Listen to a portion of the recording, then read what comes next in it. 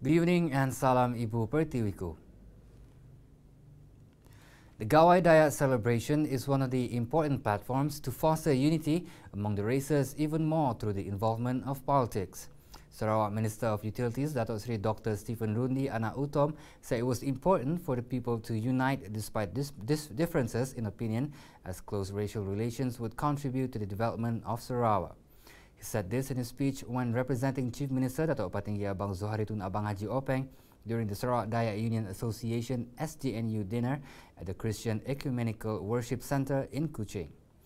Meanwhile, Datuk Sri Dr. Stephen Rundi stressed that nowadays strength is not in numbers but in unity. He also announced that he will work together with Deputy Chief Minister Dato Amar Douglas Uggah Embas and Temenggung Dato Bernard Anggang, Anggan Asan to study issues related to squatters and urban poverty involving the Iban community and to find solutions to these issues. During the event, Dato Sri Dr. Stephen Rundi also contributed 50,000 ringgit to SDNU to carry out the activities of the association. A total of 200 people received donations in the form of Duit Raya from Dalat State Assembly Service Center and hampers from the Ministry of Women, Family and Child Development in Oya.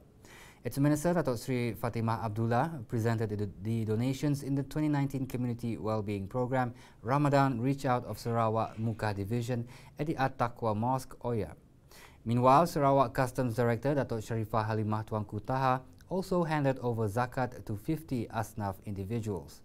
Dato Sri also presented a minor rural projects check to the Village Development and Security Committee of Kampong Bakong Oya to assist in the building of a home for a poor family in Kampong Bakong. Well, that's all the news for now. I'm Razi Ahmad and thank you for watching.